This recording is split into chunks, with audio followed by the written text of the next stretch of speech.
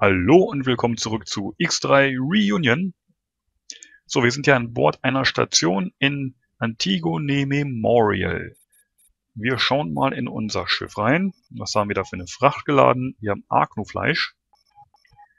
Und was ist das hier für eine Station? Eine, äh, ich sehe, äh, das ist eine, eine Handelsstation, genau. Hier werden wir also nichts los. Wir können mal schauen, hier unser, unseren Laderaum zu erweitern. Wäre ganz schön teuer, denke ich mal. ja. Genau, deswegen docken wir ab. Also, und das Aglu-Fleisch werden wir hoffentlich bald los. Denn, äh, naja, es ist doch ganz schön anstrengend, hier Aglu-Fleisch rumzufliegen. Da kriegt man ja nicht so viel für. Wir fliegen Richtung Westen, drehen uns mal andersrum. Äh, Westen, da oben ist das Tor, man sieht es ja so einigermaßen hinter einem Asteroiden. Und so, wir schwenken hier mal ein bisschen rüber. Und dann werden wir mal schauen, dass wir noch ein paar Credits machen. Ein bisschen Geld verdienen. Kann nicht schaden, bevor wir uns irgendwann mal wieder auf die Reise machen, um der Mission hier, naja, ein bisschen, oder nicht der Mission, sondern der Story ein bisschen zu entsprechen und hier die Aufgaben zu erfüllen, die uns hier Ben Denner dann noch auftragen wird. Oder der Lauf der Geschichte, die uns der Lauf der Geschichte hier noch auftragen wird. Die Aufgaben. So, wir fliegen dann also mal ins Tor. Antigone Memorial ist ja leider so ein Ecksektor. Sprich, aus einer Richtung kommt man und man kann nur in eine andere Richtung fliegen. Und wenn man die auch schon, wenn man die auch schon erkundet hat, die andere Richtung, ist es ein bisschen doof, so wie jetzt in dem Fall hier. So, wir fliegen weiter Richtung Westen. Wir haben keine Satelliten mehr an Bord. Ist das richtig? Genau. Ja, da hinten ist das Westtor, da fliegen wir hin. Also einmal quer durch den Sektor durch. Man sieht hier eine ganze Menge an Asteroiden und weil man sieht ganz komischen roten Planeten. Ich denke mal, das ist äh, alles Lava. Das ist ein Flüssigplanet sozusagen. Also der ist ähm, der ist vermutlich noch aktiv. Also der ist, nein, was heißt aktiv? Der ist, äh, der ist noch nicht abgekühlt, der ist noch heiß. Ganz komisch ist, dass man da irgendwie Wolken drauf sehen kann. Oder es sind Kontinente oder ähnliche Platten. Und, und drunter bewegt sich ein schneller Ozean aus flüssigem Gestein. Naja, komisch auf jeden Fall. So, und rein geht's ins Tor. Wir fliegen seitlich rein, werden reingezogen in das Tor. Jetzt müsste ein neuer Sektor kommen, den wir noch nicht kennen. Drei Welten? Erreiche System. Drei Welten. Ja, genau, drei Welten. Sehr gut. Naja, drei Welten. Ja. Kennen wir ja. Ähm so, dann schauen wir mal, was es hier für Stationen gibt. Ich sehe da unten rechts eine. Ich sehe vor allem sehr viele Asteroiden. Das wird hier ganz schön fies werden. Kahuna-Presse M Alpha. Aglu-Fleisch wollen die nicht haben. Schade. Also die zahlen zumindest nicht genug dafür. Wow, wow, wow, schnell weg. Oh. Das war mal knapp. So. Okay, und weiter geht's. Vielleicht kommt da hier noch ein. Achso, hier gibt es ganz schön viele Agrarzentren, muss ich mal sagen. Also nicht nur jetzt hier in diesem Sektor, sondern generell in den Agronen-Sektoren. Hätte ich das gewusst, hätte ich gar nicht erst Agrofleisch gekauft. Aber man kann es ja schlecht vorher wissen. Wenn man sich nicht gründlich vorher informieren möchte und sich den Spielspaß hier unbedingt selbst vermiesen möchte.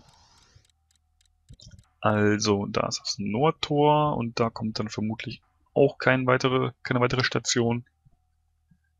Ja, gut. Moment, aber es muss hier doch noch einen Südtor geben, genau. Fliegen wir mal Richtung Süden. Wir fliegen erstmal in die Richtung, vielleicht kommt da noch eine Station, die wir noch nicht auf dem Schirm haben. Und dann fliegen wir Richtung Südtor. Ist das hier ein Sonnenkraftwerk gewesen? Nein, ich glaube nicht. Das war ein Agrarzentrum. Okay, also Richtung Südtor. Da ist das Osttor. Nordtor ist rechts von uns. Das heißt, das Tor da hinten wird das Südtor sein. Genau. Mit Vollgas drauf zu. Möglichst nicht in einen Asteroiden reinfliegen. Das wäre mir ganz recht. Okay. Ja, sieht eigentlich sauber aus, die Strecke. Also mal Gas geben. Und auch, ich denke mal, auch bei der Handelsstation wird es hier keinen Käufer geben für Agnu-Fleisch. Wie ich mir schon gedacht habe. Naja. Dann vielleicht im Süden. Haben wir den Sektor südlich von uns schon erkundet. Wolkenbasis Nordwest. Ja, da gibt es auch keinen Abnehmer. Hm. Da gibt es keinen Abnehmer. Ja gut. Naja.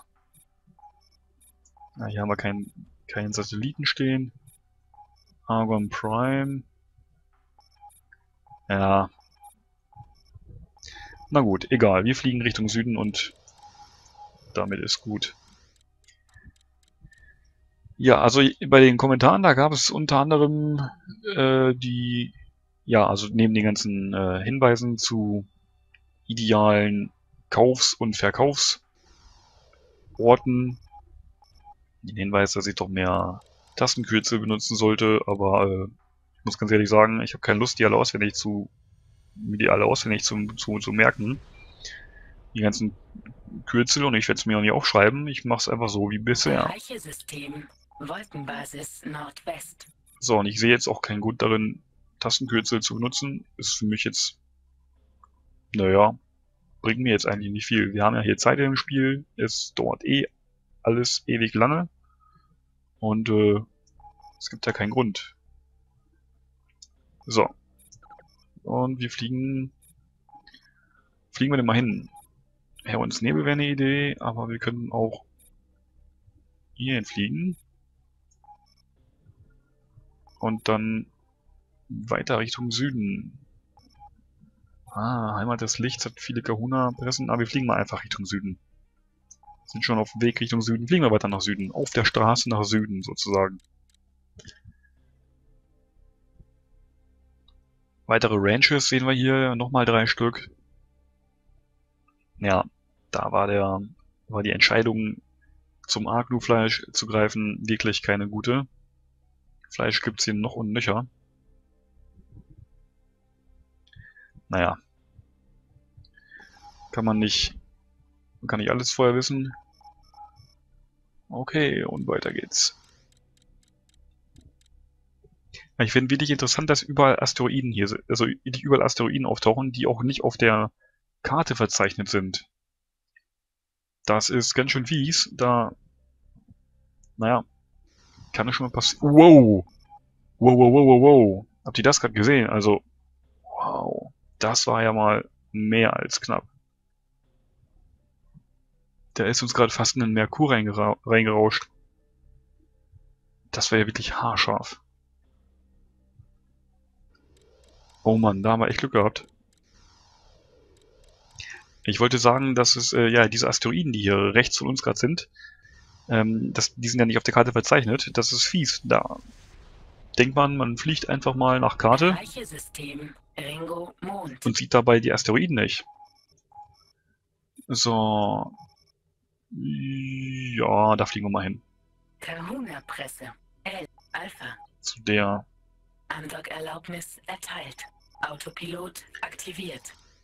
Alles klar, gut. Also auf zur Kahuna-Presse L Alpha.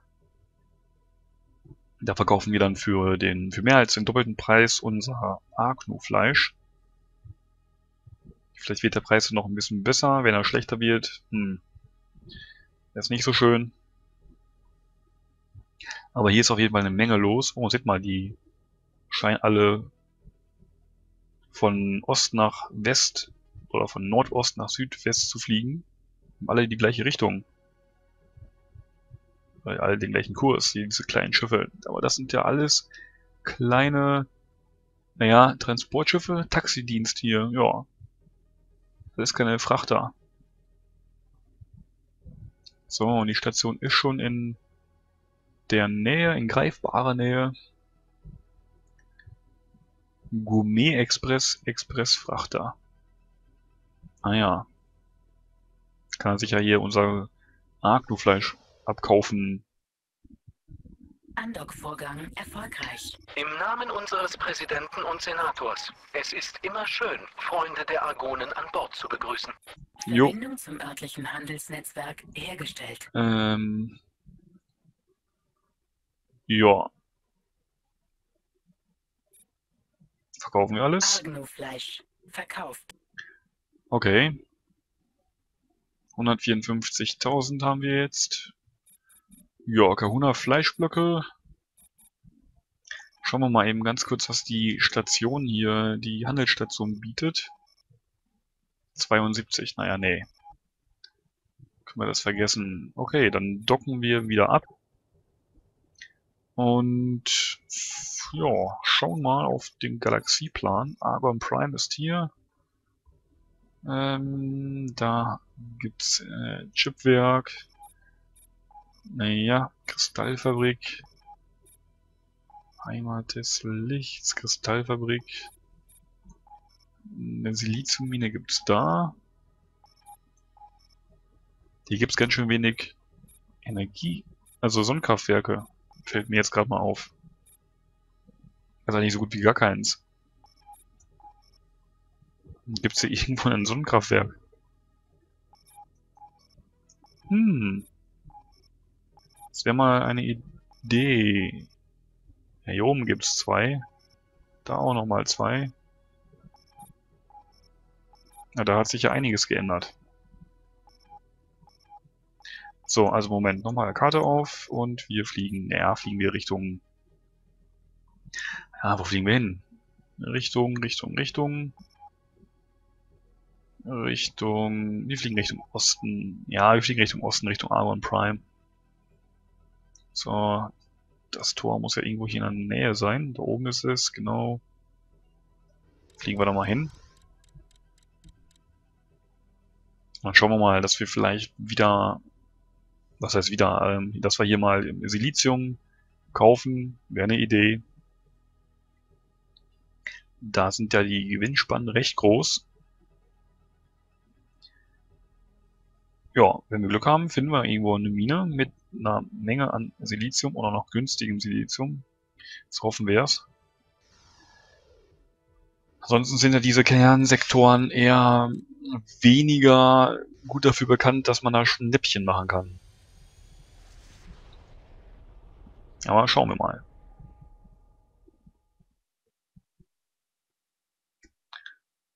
Na, manchmal dauert der Übergang von einem Sektor in den anderen ein bisschen länger. Erreiche System Argon Prime.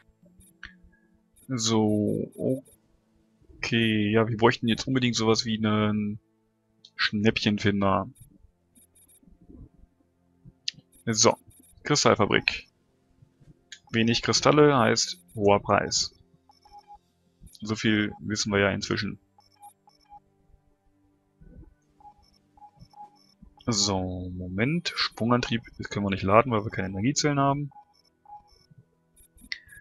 Ausrüstungsdock, Chipwerk, erweiterte Satellitenfertigung, ja. Nicht gerade günstig. Quantumröhrenfabrik. Wenig Quantumröhren, gleich hoher Preis. Linie der Energie. Fliegen wir da mal hin. Da können wir Energiezellen kaufen. Aber wollen wir das? Sind die Ener Ja, hier gibt es drei Kraftwerke. Ja, 17 Credits, 17 Credits, 13 Credits. Aber da wird wahrscheinlich bald jemand hinfliegen. Hm. Auf jeden Fall könnten wir Energiezellen gebrauchen. Fliegen wir mal Richtung Osten. Und genau, ja, wir kaufen uns da Energiezellen und dann können wir ja den Sprungantrieb benutzen. Gut auch geschrieben, dass ich den Sprungantrieb ja gar nicht benutze, aber naja, wenn man keine Energiezellen hat, geht's ja auch schlecht.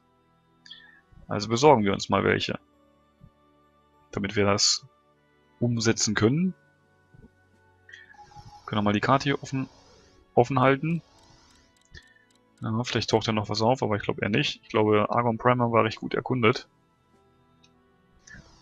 So, da ist wieder ein Schiff in der Nähe.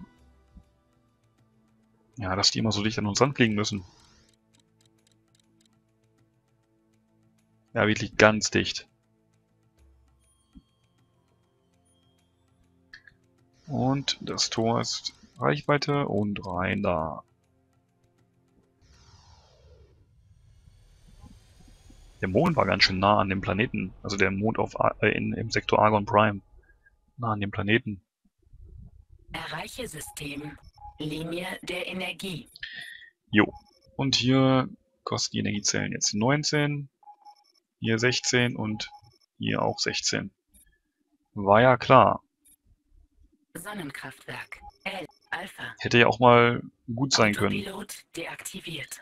Ja. Autopilot deaktiviert. Warum ist denn... Andock-Erlaubnis So. erteilt. Autopilot aktiviert. Ja gut, dann kaufen wir da nicht viel. Also oder zumindest nur ein paar für unseren Eigenbedarf. Zum Handeln brauchen wir jetzt hier nichts einkaufen. Also 16 Credits ist eine Menge. Da macht man keinen Gewinn mit. Naja. Aber interessant sind die Sonnenkraftwerke hier gestaltet.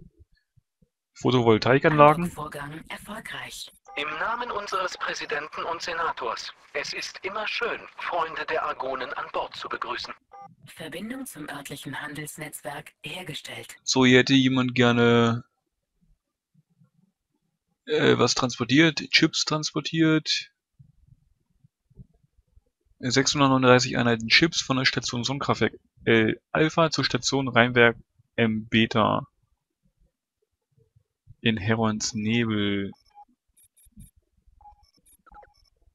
Nee. Nehmen wir nicht an. Erstmal geht es da um zu wenig Geld. Zweitens ist es auch noch im übernächsten Sektor. Da machen wir nicht mit.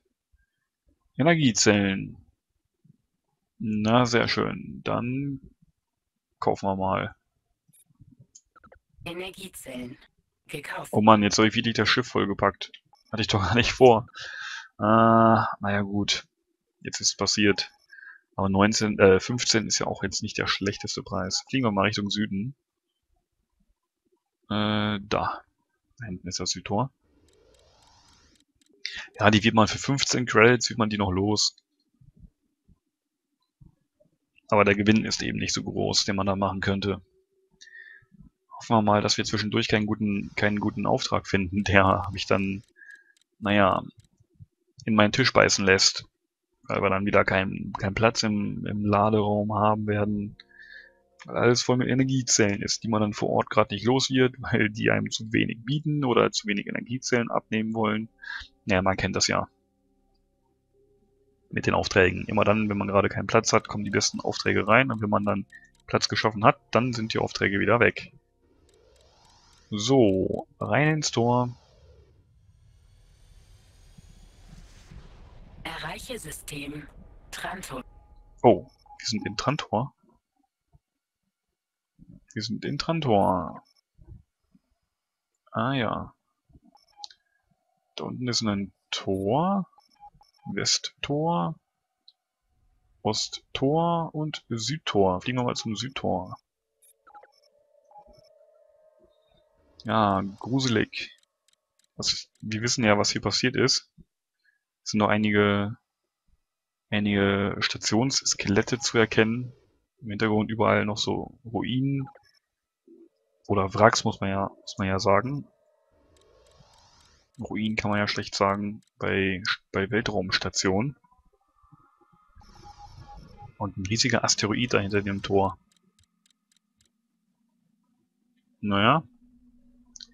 Müsste man mal scannen. Wäre ja eine gute Lage für, einen Aster für eine Station. Könnte man sicherlich... Naja, wenn die, wenn die gute Ausbeute geben würde, wäre es ein sch schöner Standort. Erreiche System. Wolkenbasis Südost. Wolkenbasis Südost, okay. Fliegen wir mal rein in den Sektor. Und schauen wir mal, was es hier so gibt. Ah, sehr gut ist auf jeden Fall, dass der Sektor klein ist und dass wir mit unserem Scanner hier sehr weit kommen. Das gefällt mir schon mal sehr gut. Äh, Wir werden gescannt. okay. Der Scan Ihres Schiffs ergab keinen Anlass für weitere Untersuchungen. Ja, Weiterhin einen guten Flug. nichts anderes habe ich erwartet. Hier gibt's Stationen. So. Stationen mit, äh, ja, die hier Hightech-Waffen herstellen. Okay. Fliegen wir Richtung Westen. Richtung Westen, dann müssten wir nach Erzgürtel kommen. So, Erzgürtel kennen wir ja.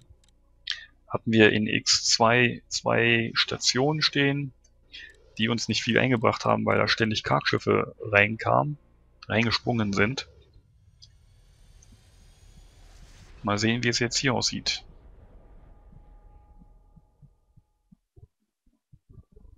Erreiche System. Erzgürtel. Ja, wie wir sehen, sehen wir Asteroiden. Und geben mal Gas. Da ist schon die erste Mine. Asteroiden, Asteroiden, Asteroiden.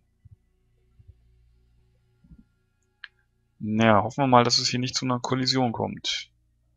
Sonnenkraftwerk, XL, Erzmine. Die hatten eine Menge Erz. Energiezellen will die aber nicht haben. Dann fällt die schon mal raus als Ziel. Müssen ja die Energiezellen loswerden. So, was sagt unser Kurs? Der sagt, der ist in Ordnung. Ja, vielleicht mal hier eine andere Mine noch anzeigen oder so. Wäre mal eine Idee. Kommt Wir wohl nichts. Ah, schon wieder. Der Scan Ihres Schiffs Für weitere Untersuchungen. Weiterhin einen guten Flug. Jo, danke. Da oben ist eine Mine. Die nimmt auch keine Energiezellen. Okay, drehen wir mal Richtung Norden. Jo, da oben in die Richtung. Und geben Gas. Mal sehen, ob da noch eine Station auftaucht. Mine. Ähm, ja. Also wir müssen ja hier irgendwo einen Abnehmer finden. Oh, ein Pirat. Ansonsten sehen wir da nichts. Sehen wir denn da oben noch irgendwo eine Station? Ich sehe da jetzt auch so keine. Okay, ja dann nochmal ein bisschen in die Richtung fliegen. Es kann ja nicht schaden, hier den kompletten Sektor, den kompletten Sektor mehr oder weniger gescannt zu haben. Ah, Okay, alles in Ordnung. Sie können weiterfliegen. Ja, vielen Dank. Die sind ganz schön stressig. Ach genau, hier oben war ja die Piratenbasis. Da müssen wir mal schnell wieder abdrehen. Denn da haben wir gerade nichts... Den Piraten haben wir gerade nichts entgegenzusetzen. Auch wenn ich hoffe, dass die uns nicht angreifen würden. Man weiß ja nie. Na, wie es aussieht, sind die auch nicht in uns interessiert. So, Moment. Ja. Wir können ja mal pausieren, stehen bleiben. Lassen die da mal vorbeiziehen. Die Piraten, die jetzt die Station da angreifen, die Mine. Äh, oder was auch immer. Auf jeden Fall sind die im Kampf. So, wir geben wieder Vollgas. Irgendwie bin ich gerade ein bisschen enttäuscht. Ich habe gehofft, dass hier noch ein paar Minen sind. Hier ist ja gerade gar nichts. Zwei Erzminen ist ja ein Witz. Fliegen wir mal Richtung Süden. Vielleicht kommt da ja noch was. Man weiß ja nicht. Man weiß ja nicht immer. Ob das alles schon, ob das da schon war. Aber es sieht echt nicht so aus. Schauen wir mal einfach.